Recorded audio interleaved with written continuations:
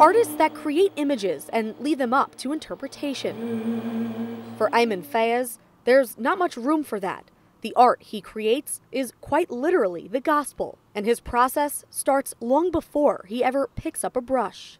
You have to read the Bible, understand the scripture, and think how this is going to be translated onto a canvas. He's thousands of miles from home, but at Resurrection Coptic Catholic Church in Park Slope, he's among his people, a faithful Egyptian community. And most of all, he's with his brother. Father Francis Fayez, the church's pastor, and Ayman are twins.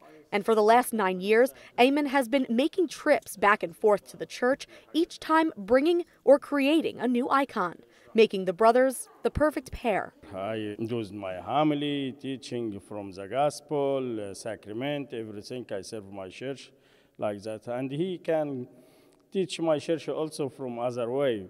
Recently, Ayman completed these panels above the altar, but Father Francis says his parish community wasn't always as enthusiastic about his brother's icons as they are now. They didn't understand that the pieces of art are depictions of the gospel and can be used in prayer and worship just like the written word of the Bible. The icons need open mind and you can imagine and you can listen. Yeah. because the icons come straight from the gospel, you don't paint them, you write them. Ayman's been doing it since 1987. Some take up to three months to write, and he's written hundreds.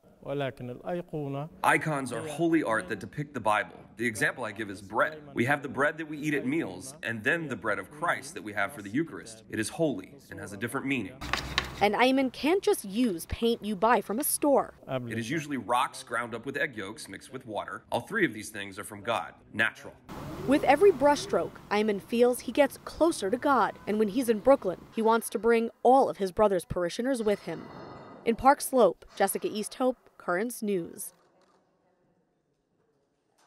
Hi, I'm Christine Persichetti, anchor of Currents News. If you like what you saw, please hit the like button on this video. And if you want to see more content just like it, subscribe and click on the bell for notifications. Thanks for watching because we are putting your faith in the news.